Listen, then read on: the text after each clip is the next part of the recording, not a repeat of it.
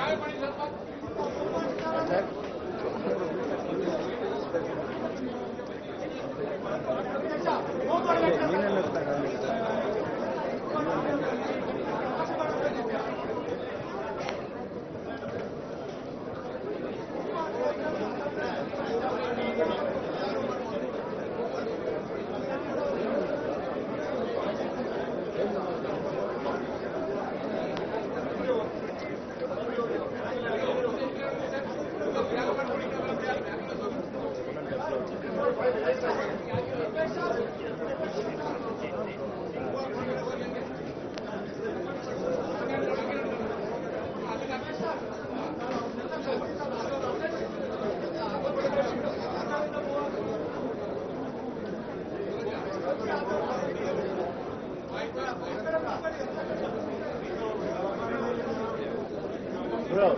Thank you, bro. Bro.